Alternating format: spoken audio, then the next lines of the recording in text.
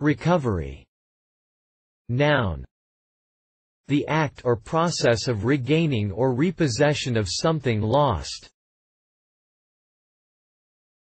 Recovery Noun A return to normal health. Recovery Noun A return to former status or position. Reference